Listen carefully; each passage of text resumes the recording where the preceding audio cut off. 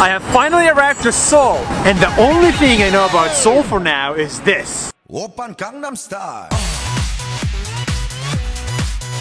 So today, all I want to do is look for that horsehead guy in the actual place called Gangnam. Let's go.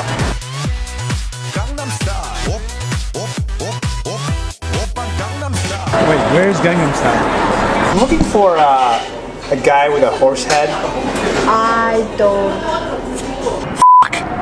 Turns out Gangnam is just a district with really expensive shit. I'm not paying 25 bucks for a candle. Gangnam Style. Gangnam Style. And if I can't find the Gangnam Style in Gangnam itself, I'm gonna find it somewhere else.